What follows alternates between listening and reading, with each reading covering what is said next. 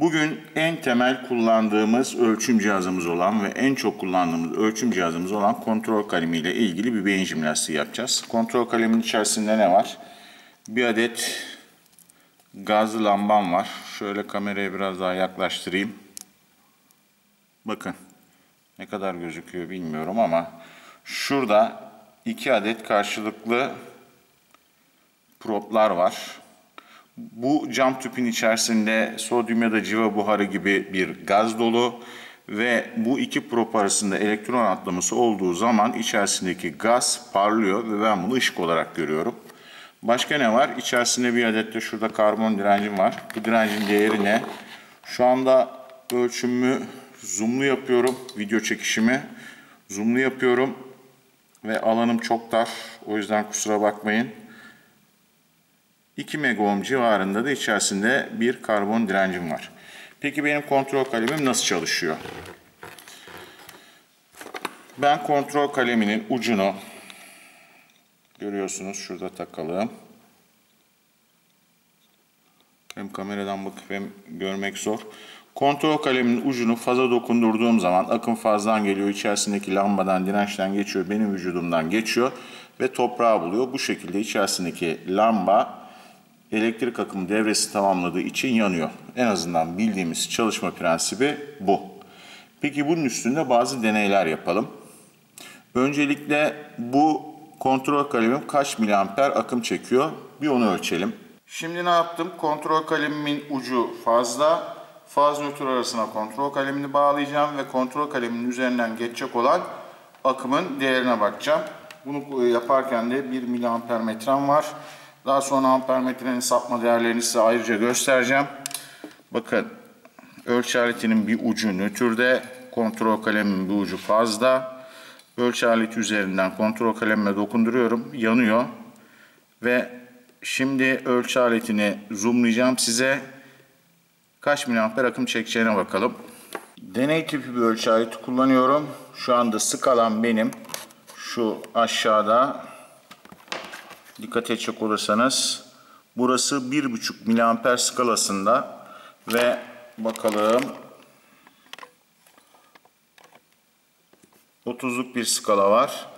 Yani 1,5 bölü 30'dan her bir çizgi 0.05 miliamper. Dokundurduğumda tam net göremiyorum ama İbrahim benim iki çizgi kadar hareket ediyor. Her biri neydi? 0.05 miliamperdi. Çarpı 2 dediğimiz zaman 0.1 miliamper benim şu anda kontrol kalemin faz nötr arasında akım çekiyor. Şimdi yaptığım şey ne? Şimdi yaptığım şey şu. Yine kontrol kalemin bir ucunu burada faza bağladım. Kontrol kaleminin çıkışına ölçü aletimi bağlayacağım. Ve ölçü aletin diğer ucunda ben kendi elimle tutacağım. Yani normal kontrol kaleminin hani biz arka buradaki e, kısmına bastığımızda kontrol kalemi yanıyordu ya o durumda ne kadar akım çekecek ona bakalım. Şu anda kontrol kalemini bakın yakıp söndürüyorum. Dediğim gibi fazdan kontrol kalemi bağlı, çıkışına ölçü aleti bağlı. Ölçü aletinin bir ucu burada. Kontrol kaleminin arka kısmına dokunduruyorum. Ve ölçü aletinin diğer ucu da benim şu anda parmağıma dokunuyor. Evet yanıyor sönüyor kontrol kalemi dokundurduğumda. Ama şu arka kadrana skalaya bakacak olsanız miliamper mertebesindeki ölçü aleti dahi bu ölçümü yapmıyor. Demin neydi? Faz nötr arasında 0,1 miliamper çekiyordu. Her bir buradaki çizgi 0.05 miliamperdi. Yarım anca skala çizgisi kadar bir oynama yapıyor. Yani 0 nokta ne oluyor? 0,025 miliamper gibi falan bir akım çekiyor. O da yaklaşık olarak yani görebildiğimiz kadarıyla. Kontrol kaleminin çalışma mantığı neydi? Faz. Kontrol kalemin ucu faza değdiğinde ve ben şuradan görelim. Arka kısmına elimi dokundurduğumda buradaki lamba yanıyor. Akım fazdan geliyor, içerisindeki lambadan geçiyor, dirençten geçiyor. Benim vücudumdan ne yapıyor? Toprağı buluyor. Aslında toprakla nötrün şant merkezlerine birleştirildiğini düşünürseniz ben buradaki kontrol kalemini benim vücudum üstünden faz ve nötr arasına sokmuş oluyorum. Ve ben yine vücudum nötr hattı üzerinde yani toprak hattı üzerinde olduğundan dolayı toprak ucunda ya da nötr ucunda kontrol kalemim ne yapmıyor? Çalışmıyor. Şimdi tekrar faza takalım ve bir soru sorayım. Bakın yandığını görüyoruz. Şu anda arkadaşlar ikinci kattayız. Binanın ikinci katındayız. Yer olduğu gibi epoksi zemin. Kalın bir epoksi zemin var. Ve ben bir sandalyenin üzerinde oturmuşum. Plastik bir sandalyenin ve ayaklarımı yerden kesmişim. Eğer tüm bu yalıtıma rağmen üstümden bu kontrol kalemini yakacak kadar enerji akım geçiyorsa bir şey demiyorum. Hatta şimdi bir ilave daha yapalım. Bakın bunun arka tarafına birkaç kat kağıt yapıştırdım. Yapıştırdım bakın. Kamera görebiliyor mu? Evet şimdi gördü. Birkaç kat kağıt bant yapıştırdım. Ve bakın dokunduruyorum. Kamerayı da yaklaştırıyorum. 4 kat kağıt bant var ve kontrol kalemi şu anda çalışmıyor. Şu anda çok fazla bastırırsam çok zayıf bir şekilde çalışıyor. E peki şunu soracağım. Hani fazladan geliyordu, işte lambadan geçiyordu, dirençten geçiyordu. Benim vücudumdan ikinci kattayım. Epoksi zemin var, plastik sandalye üstündeyim. Tüm buralardan sızın takım oluşturuyordu ve toprağı buluyordu. Tüm bu yalıtıma rağmen toprağı bulan faz akımı 4 kat kağıttan mı geçemiyor? Bakın şu anda çok çok çok zayıf, aşırı derece bastırırsam çok zayıf yanıyor. Yani tüm bu geçiş noktalarını atlatan elektrik akımı, tüm bu yalıtımı atlatan elektrik akımı benim e, üstüne koymuş olduğum 4 kat kağıttan mı geçemedi? Şimdi başka bir şey daha yapacağım. Bakın burada bir adet çekiç var. Görüyorsunuz zoom yapmak zorundayım. Çünkü kontrol kalemin ışığını yakalayabilmek için çekici buraya koydum. Kontrol kalem şu anda faza takılı ve getirdim. Tam kameranın önünde olsun. Kontrol kaleminin arkasını çekicin metal kısmına dokunduracağım ve şu anda ben e, şey de yapmıyorum yani çekici ellemiyorum da. Bakın.